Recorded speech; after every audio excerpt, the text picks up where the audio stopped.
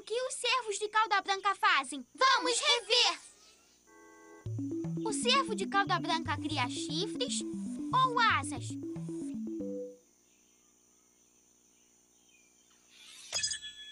Chifres, certo. Cervos jovens criam chifres. Para se esconder de animais assustadores no mato, o cervo de cauda branca dança ou fica parado?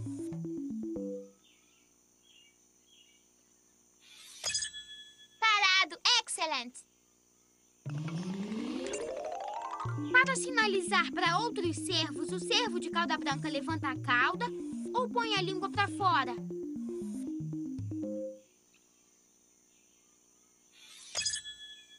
Levanta a cauda! As caudas brancas indicam para os outros cervos onde eles estão. Quase completamos o quebra-cabeça. Para descer montanhas, o cervo de cauda branca vai de patins ou em zigue-zague?